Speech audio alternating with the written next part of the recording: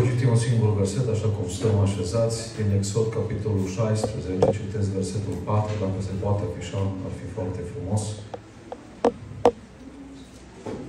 Pagina din Biblie 76.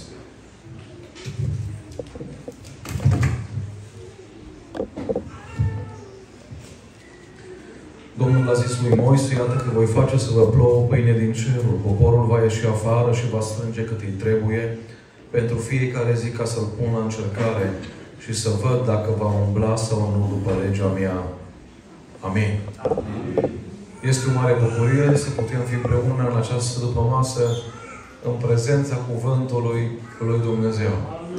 De la bun început, iubiții mei, vreau să vă spun, n-am venit să vă predic ceea ce vă place, ci am venit să vă predic ceea ce aveți nevoie. Când cineva vrea să audă ceva ce îi place, merge la circ. Când vrei să auzi ce ai nevoie, mergi la spital. Și acum fiți atenți. Dacă mergi bolnav la circ, o să mori. Pentru că niciodată clownul nu va, nu-ți va spune că ești bolnav. Meseria lui este să te facă să râzi. Și știți că cei mai mulți oameni merg râzând spre iad. Însă doctorul s-ar putea să te facă să plângi. Pe mine m-a operat de două ori doctorii până acum și nu mi-a fost ușor. Dar știu pe alții care i-au operat de zeci de ori. Însă, pentru că doctorul mi-a spus adevărul, ceea ce am avut nevoie să aud, nu ceea ce îmi plăcea să aud, sunt salvat astăzi și sunt bine, sunt vindecat, să să fie Domnul. De aceea, la final, eu nu o să vă întreb dacă vă plăcu predica. Că sunteți aici prieteni, frați, surori și mulți întreabă, ți-a plăcut în seara asta? Eu vreau să nu vă placă în seara asta predica. Niciodată Iisus în Biblie, după ce o predicam, nu a zis, no, câte like-uri îmi dați? Nu. Întotdeauna, iubiții mei, doctorul nu o să vă întrebe dacă v-a plăcut uh, ce fain e cabinetul de stomatologie sau cuțitul de la chirurgie. Nu vă întreabă. Pentru că meseria lui doctorului nu este să te facă să zâmbești, ci să te facă sănătos. La fel cum avem trupul acesta, înăuntru nostru avem un suflet și un duh. În momentul când cineva moare, ceea ce vedeți în oglindă, carnea este pusă în mormânt. Sufletul nostru, sentimente, rațiune și voință împreună cu Duhul nostru merg la Dumnezeu. Spuneam aseară la Trossingen, cât ai vrea tu să spui la cei care te vor îngropa în ziua morții, mă, aruncați cu pământ și păstă faptele mele. Nu se poate. Nu există pământ care să poată îngropa faptele. Spune în Apocalipsa și faptele lor îi urmează. Iubiții mei, știți, ar trebui să fim foarte atenți la ceea ce ne urmează. Noi suntem atenți la ceea ce nu ne urmează. La poșete, la costume, la șei, la telefoane, la grese, la faianță. Toată viața ne preocupăm de lucrurile care nu le putem duce dincolo. Și când cineva spune, vezi că înjurătura aia nu e bună, ce chelești de viața mea? Da, dar vezi că înjurătura aia merge cu mine dincolo. De aceea, iubiții mei, astăzi vreau să ne uităm la acest verset. Și vreau Dumnezeu să ne vorbească prin cuvântul care va fi spus. Amin. Spune aici Dumnezeu ceva foarte interesant. Voi face să vă plouă pâine din cer. Acum am văzut că nemții au niște pâine cu semințe, de toate felurile. E foarte, foarte bună pâine. Dar să știți că pâinea care a dat-o Domnul e cea mai bună. Poporul va ieși afară și va strânge cât îi trebuie pentru fiecare zi. Ca să-l pun la... Ce înseamnă să pui pe cineva la încercare? Să testezi. Să cântărești. Să examinezi. Iubiții mei, sunt lângă noi oameni încercați prin cancer. Sunt lângă noi oameni încercați prin sărăcie. Eram undeva în Oltenia acum câțiva ani. Am mers la o familie, știam că niște frați cu inimă bună au trimis un frigider la acea familie și am vrut să văd cu ochii mei familia, frigiderul. Și când am ajuns spre șocul meu, frigiderul era stins și scos din preță și am zis Doamnă, nu v-a fost trimis frigiderul ca să-l scoateți din priză? Și a zis, știu. Însă a zis, a zis uh, doamna asta, când l-am primit, l-am primit plin. După ce s-a golit, n-am avut cu ce să o mai umplu. De aceea l-am scos din priză. Sunt oameni încercați prin sărăcie. Sunt oameni încercați prin un copil neascultător, de exemplu, care poate trântește ușa la, la tata sau care poate întoarce vorba la mama. Sunt oameni încercați prin pierderea locului de muncă. Sunt atâtea feluri în care Dumnezeu testează pe cineva. Astăzi n-am să vorbesc nici de diabet, nici de cancer, nici de copii care nu ascultă. Astăzi am să vorbesc despre o altfel de încercare care se potrivește la toți. Și anume, încercat prin binecuvântare. O să-i dau pâine din ceruri, binecuvântarea, ca să-l testez. Iubiții mei, în primul rând, încercat prin binecuvântare înseamnă încercat prin recunoașterea sursei binecuvântărilor. O zis Dumnezeu, când îi voi face să plouă pâine din ceruri, când îl voi binecuvânta, vreau să văd dacă oamenii ăștia vor ști de unde vine pâinea aceasta. Dacă vor recunoaște de unde vine pâinea aceasta. Dacă mă vor cinsti ca atare. Dacă mă vor iubi mai mult. Dacă mă vor asculta mai mult. Vă sunt minunea binecuvântării. Pune-te, rog, Genesa, capitolul 33, cu versetul 9. Se întâlnește sau cu Iacov după undeva la 20 de ani de despărțire. Și Iacov vrea să-i facă un cadou la Esau, iar Esau spune, eu am din belșug, păstrează, frate, ce este al tău. Pune-te la versetul 11 să ascultați răspunsul lui Iacov. Primește deci darul meu care ți-a fost adus, fiindcă Dumnezeu m-a umplut de bunătăți și am de... Vedeți o diferență de cele două versete? Esau spune, am muncit, am trecut granița, numai eu știu cum am început în Germania de la zero. Voi ăștia care veniți acum, zice, n-are să ne comparăm, zice. Și Iacov spune, și eu am muncit, și eu m-am sacrificat, dar o zis Iacov, în spatele binecuvântărilor mele este Dumnezeu. Iubiții mei, în Ioan capitolul 21, ucenicii erau la pescuit și undeva pe țărm aud o voce, aruncați mreaja în partea dreaptă. Nimeni n-a recunoscut înainte să se întâmple minunea cine putea fi vocea aceea. Însă când au tras mreaja și de-abia au putut să o tragă cu 153 de pești, Ioan s-a uitat la voce, s-a uitat la mreajă, s-a uitat la țărm, s-a uitat la mreajă și a spus așa, în spatele acestor, acestei mreși pline este Dumnezeu. Este Domnul Petru. Iubiții mei, vreau să vă întreb când a fost ultima dată când ați luat salariul și să spuneți în spatele acestei binecuvântări este Domnul. Când a fost ultima dată când v-ați luat copiii sănătoși în brațe și să spuneți în spatele acestor binecuvântări este Domnul? Am fost într-o zi cu fratele Sergiu Nichescu în misiune și cu sora Ligia Nichescu. Îi cunoașteți de pe internet cu siguranță. Eu m-am pus la masă să mănânc, am luat lingura, am băgat-o în supă și am dus-o la gură. Sora Ligia a luat lingura, a băgat-o în supă și a dus-o la gura soțului. Cu greu am mai putut să mănânc. Eu m-am dus la sfârșit, m-am plecat, mi-am legat șereturile să plec. Sora Ligia s-a plecat și eu legat șereturile lui. Pentru că Sergiu Michescu nu are mâini. Și spunea fratele Sergiu, într-o zi m-am dus la copilul meu care era împătuți. Și copilul a întins brațele să le iau în braț. Și eu n-am putut să întind brațele, că nu le am. Și deși nu are brațe, îl slujește pe Dumnezeu fratele Sergiu. Spuneți-mi, vă rog, în ziua judecății, că Dumnezeu îl va pune pe el lângă milioanele de nemți, de ruși, de români, care au avut sănătate. Ce vor spune oamenii aceia? Ce scuză vor avea? Când un om care putea să plesteme, să-L înjure pe Dumnezeu, că nu are toate membrele, ar fi putut să facă asta. Și el a zis, nu, eu vreau să-L recunosc pe Dumnezeu în spatele a tot ceea ce mi se întâmplă. Iubiții mei, o să întrebați, dar Domnul pastor, dar de ce e important să recunoaștem pe Dumnezeu? Ce? Nu ne putem descurca singuri? Vreau să vă spun că într-o zi Iov a pierdut 11.500 de animale și 10 copii.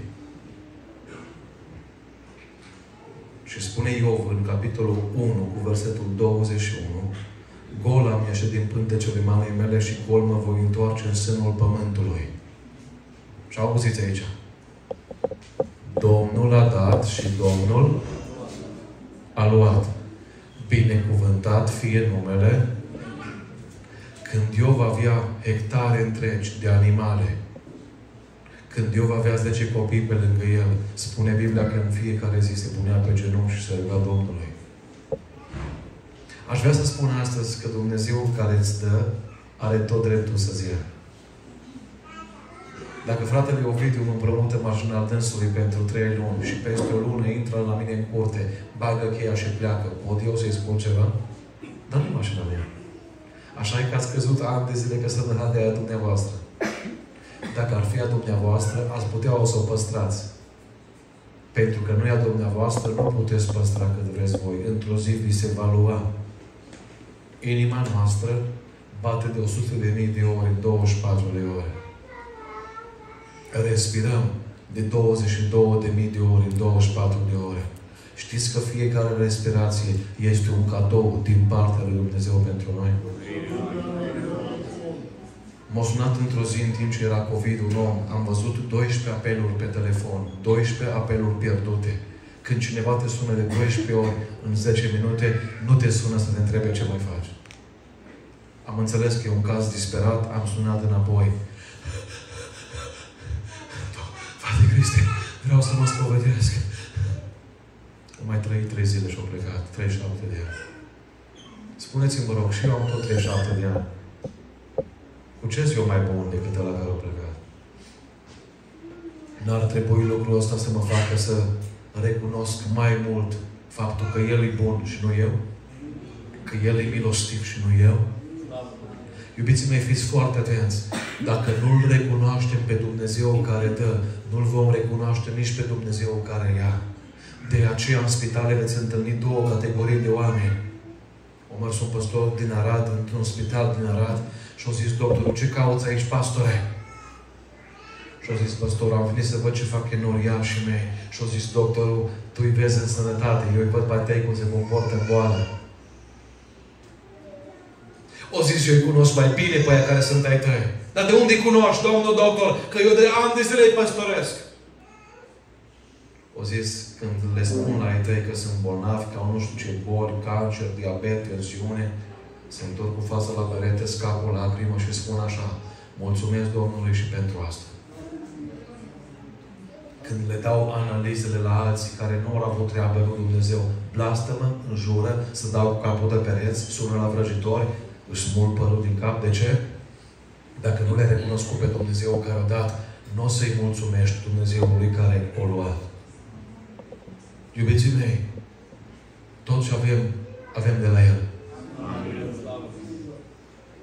Vine ziua când tot ce ți-a dat îți va lua și nu ai contract cu El niciunde să te anunță înainte de asta. Timpul pe care îl ai, viața ta, este o binecuvântare din partea Lui. În urmă cu trei săptămâni am predicat la mătușa mea prin alianță. 42 de ani. Am mers la Cluj să-și facă o operație de ficat. A intrat în comă, 31 de flacoane de sânge. Nu s-a mai trezit niciodată.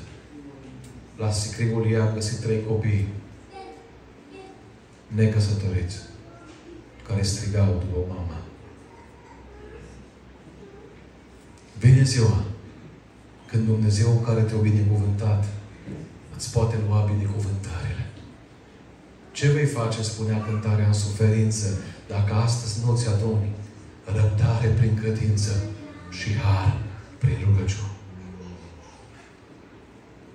Știți ce fac oamenii? Când sunt sănătoși, îl ignoră pe Dumnezeu. Când sunt bolnavi, urlă la Dumnezeu. Îmi spunea cineva, domnul pastor, unde e Dumnezeu acum cu mine când îți la spital? Și i-am spus frumos, tot acolo unde l-ai lăsat când erai sănătos. Unde e Dumnezeu acum când mi-am pierdut serviciu? Tot acolo, acolo unde l-ai lăsat când aveai serviciu. Unde e Dumnezeu când, acum când sunt singur? Când m-au părăsit toți? Tot acolo unde l-ai lăsat când nu erai singur. Când erai cu prietenii lângă tine. Și poate n-aveai timp de el. Iubiții mei, în această după masă, N-ați vrea să recunoaștem că este o mână care ne-a purtat de grijă până aici. Că în spatele fiecare binecuvântare pe care am primit-o a fost un Dumnezeu bun și milostiv. Spune Biblia, nu știu dacă vă rugați pentru masă, dar spune Biblia în Deuteronom 8 cu 10. Când vei mânca și te vei sătura, să binecuvintezi pe Domnul Dumnezeul tău pentru țara cea bună pe care ți-a dat-o. Eu personal cunosc oameni care mănâncă, dar n-au voie să mănânce până să satură, pentru că au probleme medicale foarte grave. Cunosc oameni care beau supă cu pai. Cunosc oameni care cerșesc morfină. Cunosc persoane care au nevoie de o intervenție, de o minune. Și tu astăzi aici ești sănătos și eu sunt sănătos. Și Dumnezeu a spus, îți voi da binecuvântări de sus. Dar vei recunoaște că eu sunt în spatele acelor binecuvântări. Doi. Încercat prin binecuvântare mai înseamnă ceva. Încercat prin atitudinea inimii noastre față de binecuvântările primite. Pune-te rog Filipeni, capitolul 4, cu versetul 13. Un verset pe care îl știm mulți dintre noi. Și un verset foarte frumos, care spune Pot totul în Hristos, care mă întărește. Și am întâlnit oameni care au ajuns în probleme, în colaps, în faliment și au zis, nu mai pot totul în Hristos. De ce?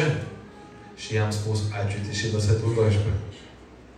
Pune-te rog versetul 12. O zis Pavel după câțiva ani buni de umblare cu Dumnezeu, știu să trăiesc smerit și știu să trăiesc în belșug. Știu să umblu și cu mașină scumpă și pe jos. Știu să mănânc și la 30 de feluri de mâncare, cum aveți la bufet chinezesc. Și știu să mănânc și pâine cu untură.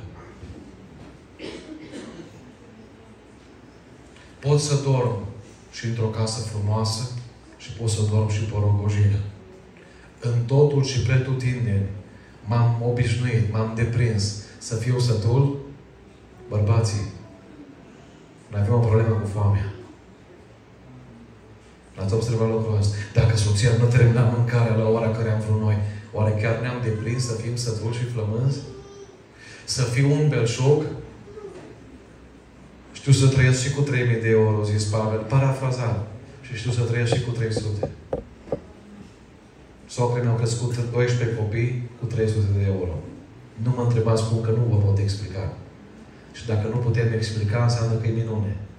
Că minunile nu pot fi explicate. Și știu persoane la care le intră 50.000 de euro în casă odată la 3 luni și nu se descurcă. Că dacă nu-i binecuvântarea Domnului, nu-i nimic. Și ascultați-mă bine acum. Pentru că m-am deprins așa, pot totul în Hristos care mă întărește. Iubiții mei, atunci când Dumnezeu ne binecuvintează, vrea să vadă și atitudinea inimii noastre față de binecuvântările pe care El ne le-a dat.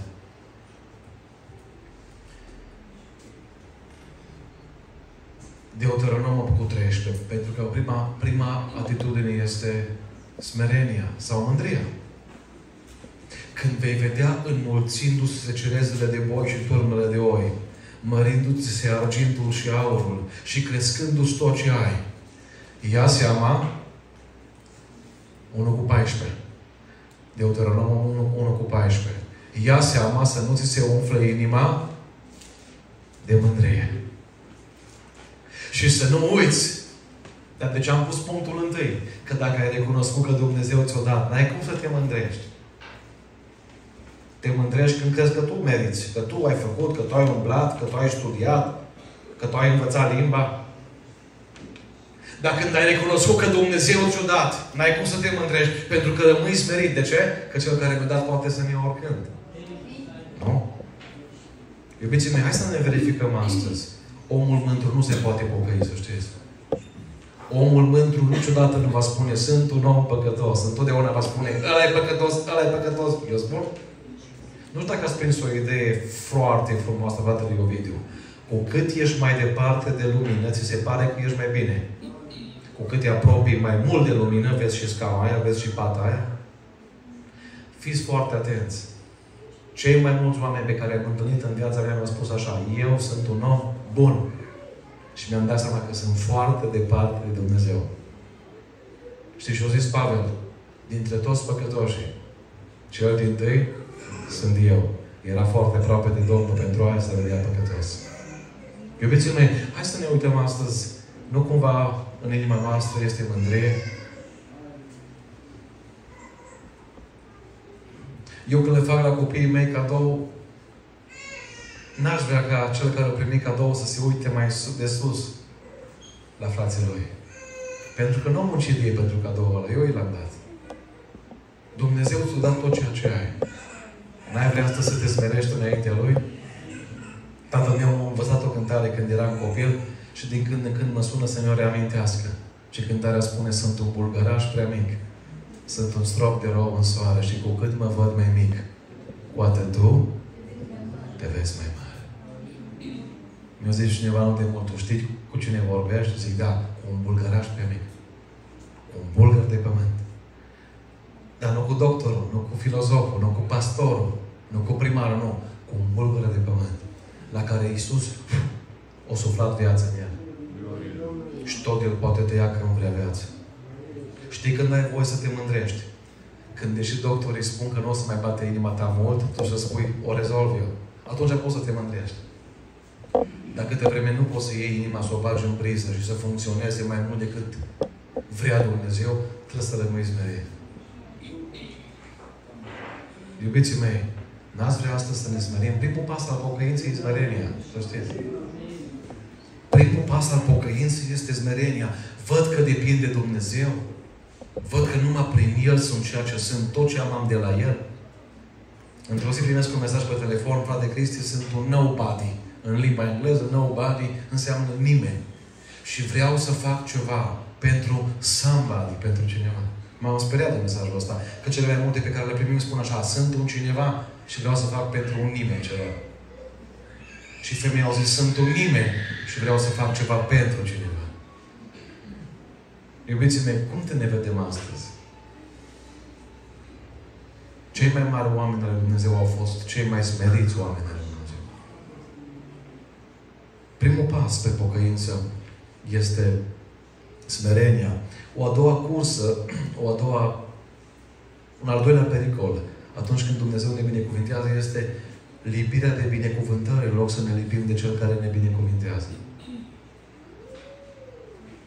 Vreau să vă întreb, când faceți cadou la copiii voștri, le faceți cadou ca să se lipească mai mult de cadou sau mai mult de voi?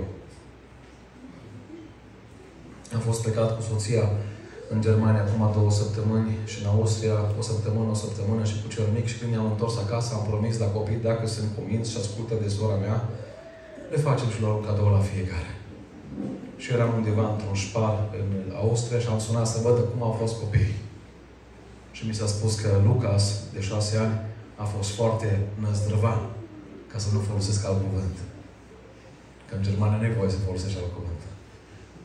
Și am zis, Lucas, sunt aici, am în față cadourile și vreau să-ți fac un cadou și nu pot pentru că am auzit că ai fost, că n-ai fost cu minte. Și el s-a gândit ce să zică, ce să spună. Și a zis, tati, eu m-am rugat la Dumnezeu să mă facă cu minte și nu a vrut. Nu vrea să piardă cadou nu vrea să piardă legul acela. Până la urmă, el a cumpărat. La asta și m-am gândit, oare cei mari chiar s-au rugat lui Dumnezeu să-i facă cu minte? Să știți că nimeni nu poate zice, Doamne, fumă cu minte, cât timp nu se vede că e rău.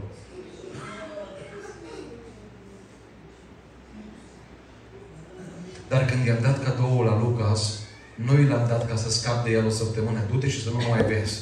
Nu. Că foarte mulți spun, Dumnezeu m-a binecuvântat cu așa serviciu că nu mai am timp de biserică. Să fim serioși. Să fim serioși. Iubiții mei, eu când i-am făcut cadoul la băiatul meu, l-am făcut în primul rând ca el să-mi fie recunoscător mie și să se lipească mai tare de mine. Știți ce se întâmplă? Mere cu Lego ăla în cameră, o zi întreagă nu mai iasă din cameră. Nici oameni nu Și trebuie să mă duc eu ca tată să iau Lego-ul ăla, să-l pun undeva deoparte, că el să vină din nou la mine. Ascultă-mă ce spun astăzi. Te-ai legat cam tare de Lego. În ghilimele. Te-a legat mult de servici, te-a legat mult de copii, te-a legat mult de sănătate, te-a legat mult de mașină, te-a legat mult de casă. Să nu uiți că vine ziua când Dumnezeu îți va lua una din astea cel puțin. Te va dorea momentul acela. Te va dorea. Dar să știi că îți va fi benefic. Spunea Cori ten Boom, femeia salvată de la Auschwitz. Sora ei nouă supraviețuit. Nu strânge pumnii prea tare cu ceea ce ai acumulat în ei, că te va durea ziua când Dumnezeu ți va deschide. Iubiții mei, aș vrea astăzi să vă întreb nu ce religie aveți, că Dumnezeu nu ne împarte după religie. Aș vrea astăzi să vă întreb, nu cumva ne-am lipit prea tare de binecuvântări, în loc să ne lipim de cel care binecuvintează?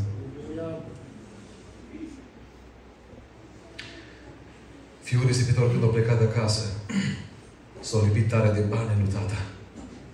Când a venit acasă și dat seama că trebuia să se lipească tare de tata. Am un prieten păstor în România și băiatul lui a, fost, a plecat din țară, a plecat să lucreze undeva în Anglia. Dumnezeu i-a dat o înțelepciune deosebită la băiatul ăsta. În câteva luni a ajuns șef pe toată firma. Și tata din țară l-a sunat și a zis, băiete, cum e? Și a zis, tati, financiar, foarte bine. Și a zis tata care e păstor, nu mă interesează banii. Cum ești cu Dumnezeu și cu biserica? Tati, tati de când iau 10.000 de euro pe lună, 8.000 de lire pe lună, nu mai am timp de biserică. 7 din 7, 24 din 24 trebuie să fiu disponibil. La orice oră mă sună, trebuie să fiu acolo. Nu îmi permis să vin la biserică și să foc în biserică. Asta e. Și tatăl a spus câteva cuvinte. Vezi nu cumva să te lipești de ceea ce vei pierde într-o zi și să te dezlipești de ceea ce puteai câștiga pentru veșnicie. L-au mișcat cuvintele astea, au închis telefonul, o luat o foaie, o scris demisia pe foaie, o dus-o la șef. Și o zis, șeful, cât îți dă firma la care mergi, ca să poți să pulsezi și el. Și el a zis, o mie de lire, dar mă lasă la biserică. Iubiții mei, nu cumva ne-am lipit prea tare de binecuvântări în loc să ne lipim de Cel care binecuvintează? Spunea salmistul într-un sal, inima îmi spune din partea ta, caută fața mea. Noi tot ziua căutăm buzunarul lui Dumnezeu. Un copil o primit niște bomboane de la cineva și um, s-au pus să le desfacă repede și mama a zis către copil, cum spui? Și copilul a zis către omul ăla, mai aveți? Dar nu așa trebuie să zic, trebuie să zică mulțumesc. Noi în loc să zicem, Doamne, mulțumesc, e suficient, vreau de astăzi să mă apropie mai mult de Tine, să citesc la mâine Biblia. Știi ce spunem noi? Mai ai, Doamne. Iubiții mei, un alt pericol este obișnuința. În loc să fim recunoscători, ne obișnuim. Le-am cumpărat cadouri la copiii mei, după cum v-am spus, după două zile erau aruncate pe casă. Nu le mai trebuit. Se obișnuiesc. Ne-am obișnuit și noi cu frigiderul plin. Ne-am obișnuit și noi cu bunătățile care le, le avem, cu ceea ce Dumnezeu ne-a dat. Însă vreau să vă spun că ar trebui în loc de obișnuință să fie recunoștință. Recunoștință. Un alt pericol este împietrirea. Dar ar trebui atunci când Dumnezeu ne binecuvintează în loc de împietrire să fie pocăință. Pune-te, te rog, Roman, capitolul 2 cu versetul 4. Ca să vedeți de ce Dumnezeu e bun cu fiecare dintre noi. Disprețuiești tu bogățiile, bunătății, îngăduinței și îndelungii Lui răbdare. Îmi spunea cineva nepocăit, domnul pastor, eu îl jur pe Dumnezeu și îți garantez că Dumnezeu nu mă trăznește pentru că nu există. Și am zis, nici nu trebuie să începe. Hai să arăt versetul ăsta. Dacă îl înjuri și nu te, nu te trăznește, știi de ce cauză o face? Nu o face, de fapt. Pentru că e bogat în bunătate, îngăduință și răbdare. Dacă pruncul meu face o prostie și eu, nu, eu nu-l pedepsesc, nu înseamnă că nu există. Înseamnă că l-am îngăduit. Atenție mare! Dar vine Apostolul Pavel și continuă. Nu vezi tu că bunătatea, binecuvântarea lui Dumnezeu te îndeamnă la pocăință.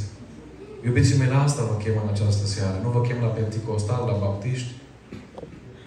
Vă chem astăzi la pocăință. Adică văzând cum s-a comportat Dumnezeu față de tine, să spui, Doamne, nu meri lucrul ăsta. Și au zis Pavel, dacă ai vedea cu adevărat, dacă n-ai fi orb, te-ai pocăi. Fiecare cadou pe care Dumnezeu îl face, fiecare dar, fiecare zi de viață, fiecare bătaie a inimii, fiecare 500 de funcții face ficatul nostru pe zi. E de fapt un semnal, o bătaie din partea lui Dumnezeu la ușa inimii tale. Și o zis Pavel, dar atâția ani Dumnezeu bate. Când ai vrea să te pocăiești? Iubiții mei, credeți că eu le fac cadou la copiii mei ca ei să facă înapoi cadou?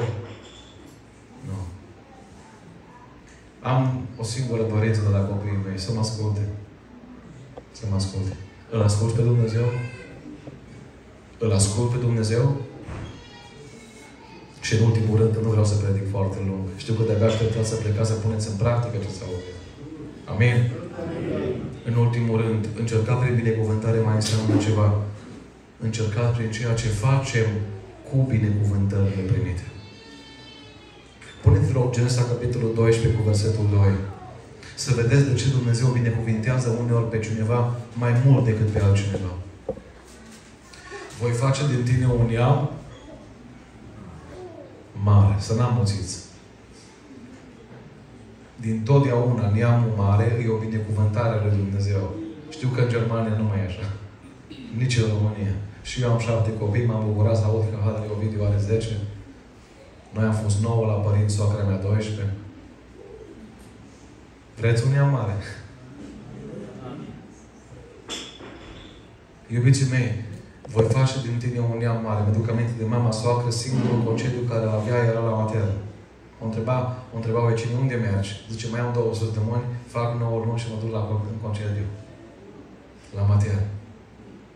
Lucra la sfeclă, lucra la animale până în ultima zi înainte să meargă la spital. Nu vă pot spune aici, în față, la microfon, cum o vorbeau vecinii, cum o făceau. Dar vă spun că acum mergem acasă, parcăm 7, 8, 10 mașini, coboară 25-30 de nepoți și aia care spuneau că e proastă, acum zic așa, noi am fost proști, noi. Numai că nu mai poți face nimic. Știți? Dacă ai mințit, poți să mergi să ceri iertare. Dacă ai bărfit, și peste 15 ani poți să mergi să ceri iertare. Dacă n-ai primit copiii care sunt binecuvântare lui Dumnezeu și au trecut timpul primirii, nu mai poți să faci nimic. Voi face din tine Avram un mare și te voi binecuvânta. Îți voi face un nume mare. De ce? Ca să le arăți la alții ce, ce ai tu. Ați văzut oameni care și-au luat ceva ca să arate la alții ceva. Eram undeva la o masă, la un restaurant, mâncam cu cineva și au venit în viteză unul cu BMW și nu m-a făcea drifturi pe lângă noi. Să nu ne mai uităm la șniță, să ne uităm la BMW. Și am primit de la Domnul un gând pe loc și am spus la cel care stă la masă, smerenia nu face gălăgie. Numai tupeu, numai mândria. Numai asta face gălăgie. Smeritul nu face gălăgie. Să știți. Nu face drifturi. Pentru că El nu a primit mașină de la Dumnezeu ca să facă figuri cu ea până în oraș. El a primit mașină de la Dumnezeu ca să-și ducă familia la biserică. Și dacă mai are loc, poate mai pune și o văduvă și niște orfane în ea. Amin? Amin. Te voi binecuvânta, Avram. Și auziți, și vei fi o binecuvântare. Iubiții mei, niciodată în Biblie nu veți găsi că Dumnezeu să binecuvânteze pe cineva ca omul ăla să fie mai special cu ceva și să se uite de sus la alții. Întotdeauna când Dumnezeu a binecuvântat pe cineva, a făcut-o ca să fie de folos pentru cei din jur.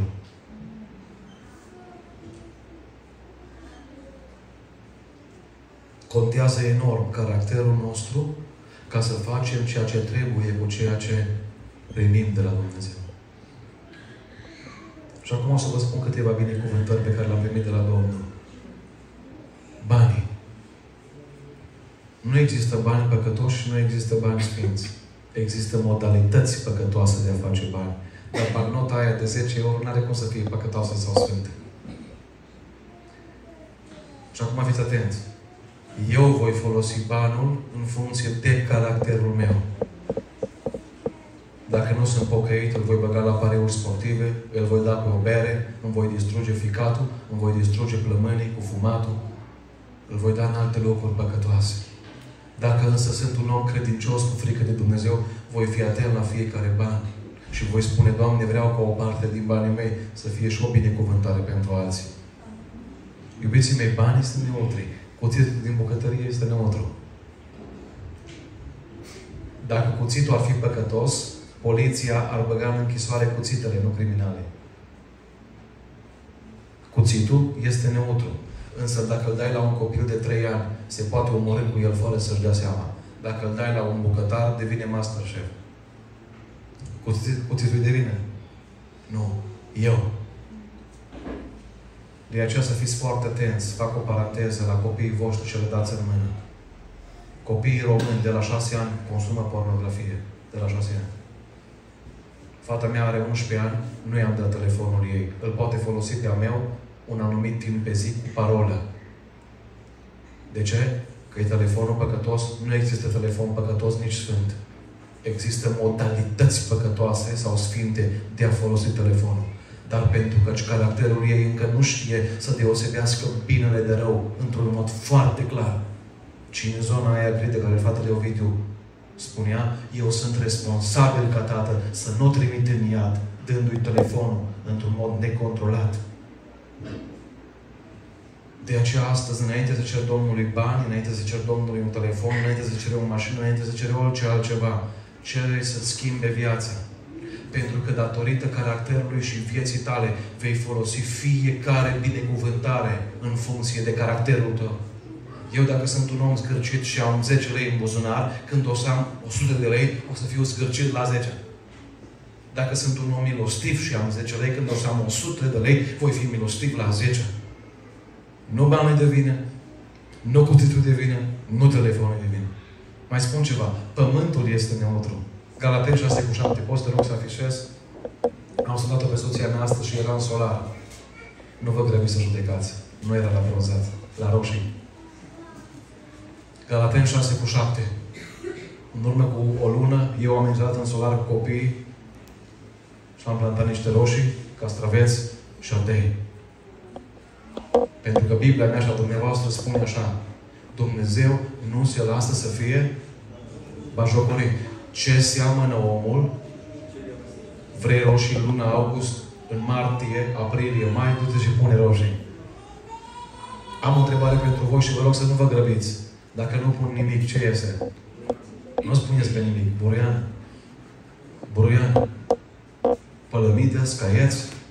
Nu pune mâna pe Biblie o săptămână și o să vezi cum iese buruiana din inima ta. Clevetire, nemulțumire, minciună, invidie, bârfă. Iubiții mei, fiți foarte atenți. Pământul este neutru. Niciun pământ din lumea asta nu spune așa, pentru că sunt la primară în grădină, chiar dacă primarul nu a pus nimic, eu m-am gândit să dau ardei. Nu. Dumnezeu a instaurat o lege. Ce seamănă omul, aceea va secera. Fiți foarte atenți. Principiul acesta e valabil și spiritual. O viață cu diavolul, o veșnicie cu diavolul. O viață cu Dumnezeu, o veșnicie cu Dumnezeu. Aerul pe care îl respirăm este neutru. Nu există aer sfânt și aer păcătos. Dar unii când îl dau afară, aerul blastămă, alții când îl dau afară, binecuvintează. Eu voi folosi aerul în funcție de caracterul meu. Alții își înjură nevasta, alții o apreciază pentru mâncarea care tocmai a făcut-o. Aerul de vină? Nu. Eu. Sănătatea pe care o avem, iubiții mei, o folosim în funcție de caracterul nostru. Spunea doctorul Luca al Crimeei, dacă nu ești bolnav, dacă nu suferi, nu este pentru că ești foarte norocos, ci pentru că Dumnezeu te cheamă să participi la suferința altora. Trebuie să fii ochi pentru orbi, urechi pentru surs, picioare pentru cei slabi. Trebuie să fii ajutorul oamenilor. Eram în județul Vâlcea acum câteva luni de zile, plecat de joi de acasă cu doi copii când sunt în țară. Aproape întotdeauna iau și o parte din copii cu mine, ca să împărțim slujirea pentru copii împreună cu soția. Și era duminică seara și am spus la fraz, nu mai rămân la masă, la ora 8 fix o să ies din biserică și o să plec. La 8 fix am ieșit, am plecat după ce am terminat predica și am auzit în spatele meu pe cineva care era în cărucior și încerca să mă ajungă. M-am uitat în spate, era pietriș pe jos și am văzut o femeie fără picioare care încerca să mă ajungă. Am băgat mâna în buzunar Și am zis, 99% îmi cere să-i dau ceva. Și dacă îmi cere să-i dau ceva, are tot dreptul să ceară. Nu are picioare. Însă am rămas cu mâna în buzunar, pentru că sora a băgat și ea mâna în poșetă și a scos un plic. Și o zis, frate Cristian, mă zic că vă ocupați cu asociația Miros de, ce, de cei săraci. Vreau să fac și eu ceva pentru Dumnezeu. Am înlemnit. Am încremenit. Și am zis, soră, Dumnezeu nu-și cere ție fără picioare să faci ceva pentru cei săraci. Că sunt alții cu picioare care pot să o facă. Și i-au zis, Cristi, n-ai voie să oprești o binefacere. Am dat un plic 150 de lei. Între timp a venit soțul ei lângă ea. Au zis, ăsta e soțul meu. M-am uitat la amândoi. L-am apreciat pe el că putea să îngrijească. Uneori divorțat când soția a spus o vorbă ne la locul ei. Alții rămân lângă soție când nu are picioare. Să nu uitați ce vă spun astăzi. Și ea au zis Cristi, în ziua anunții tot fără picioare era și el tot cum îl vezi, sănătos. M-au zis tot, da?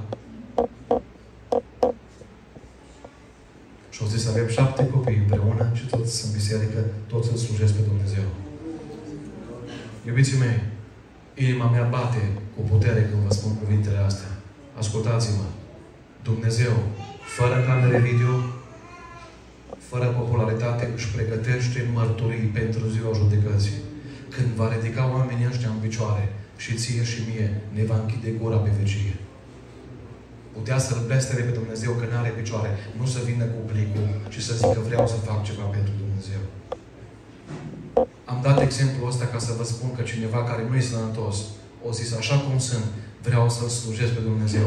Tu care ești sănătos, cu ce îl slujești pe Dumnezeu? Punem pe rog Iov, capitolul 29, cu versetul 12. A venit un moment când Iov nu mai putea să facă bine, nu mai putea să slujească, nu mai putea să ajute orfani, văduve. Dar să știți că atunci când nu mai putem, vom avea o mângâiere. Dacă atunci când am putut să facem, am făcut. Că scăpam pe săracul care cerea ajutor și pe orfanul lipsit de sprijin. Dă-te rog mai departe. Umplea, binecuvântarea nenorocitorului venea peste mine. Umpleam am o întrebare pentru voi. Nu ce religie aveți, nu mă interesează asta. Câte văduve din România mulțumesc lui Dumnezeu că sunteți în Germania și lucrați? Vedeți de ce e important punctul 1, punctul 2 și punctul 3? Dacă îl ai pe Dumnezeu ca sursa binecuvântărilor tale, vei înțelege că Dumnezeu te-a binecuvântat ca să fie o binecuvântare. Dacă nu, să strângem aici. Iubiții mei, nu vi se pare interesant? Ne naște cu mâinile goale, murim cu mâinile goale și între cele două date strângem gunoi. Să nu uitați, gunoiul are o singură valoare. Știți când? Când e împrăștiat. În rest nu are valoare. Când e împrăștiat, pe un teren unde se mâna greu, poate rădi. Deci, rog mai departe, ce spune Iov aici? El mă îmbrăca cu dreptatea, neprihănirea mi era manta și turban orbului îi eram ochi și șchiopului picior. Iubiții mei, mă apropii de încheiere, spunându-vă că dacă îi dau copilului meu 100 de lei, am tot dreptul să-l întreb ce ai făcut cu banii aia. Când o să muncească el pentru 100 de euro sau 100 de lei, nu o să-l mai întreb. Dumnezeu ne-a binecuvântat. De șase mii de ani încoace suntem cea mai binecuvântată generație din istoria lumii. Vine ziua și noi departe când vei închide ochii. Și vei deschide dincolo și Dumnezeu te va întreba ce ai făcut cu darurile, cu cadourile pe care ți le-am dat.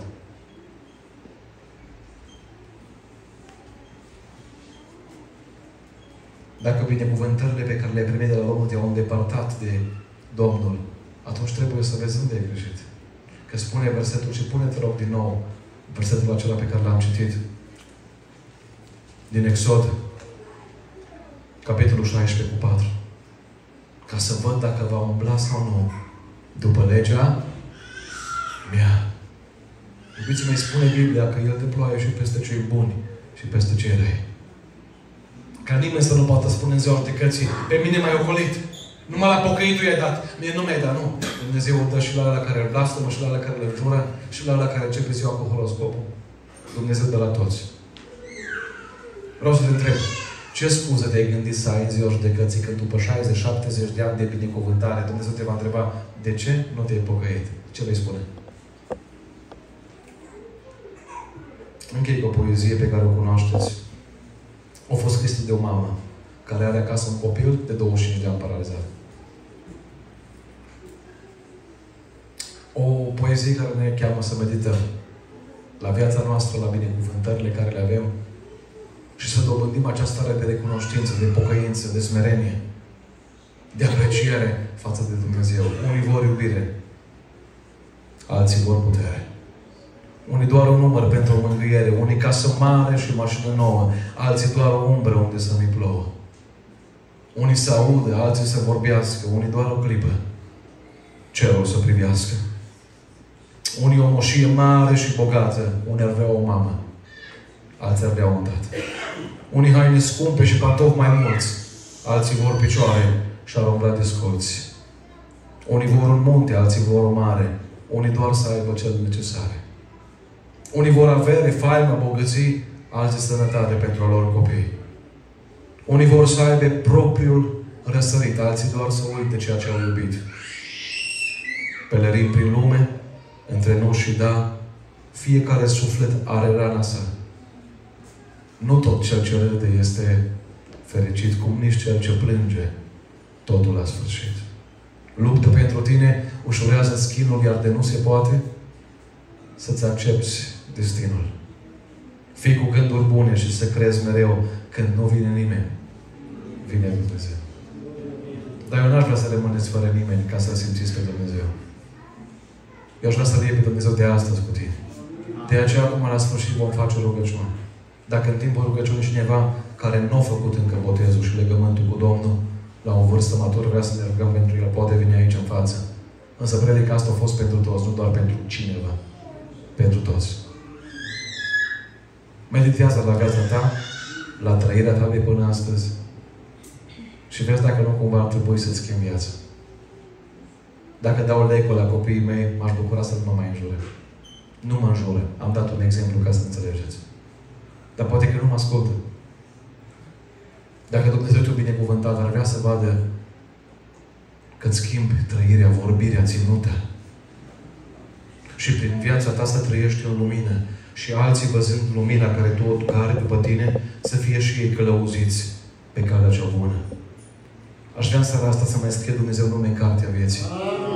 Dar nu e suficient să vreau eu. Dacă doctorul vrea ca pacientul să fie vindecat, nu e suficient. Pacientul trebuie să-și ia medicamentele. N-aș vrea să merg acasă și să spui, o vorbit bine băiatul ăla. Aș vrea să merg acasă și să spui, trebuie să mă schimb. Trebuie să mă pocăiesc. Trebuie să-mi cer iertare. Îmi dau seama că de 20, 30, 40, 50 de ani Dumnezeu mă încearcă prin binecuvântare. Putea să mă încerce prin cancer. La Marie Curie în București sunt mame cu copii de 2 ani bolnavi de cancer. Putea să mă încerce prin truncul tremur. În Turcia sunt încă sute de mii de oameni în stradă care n-au unde dormi după cutremurul care a fost.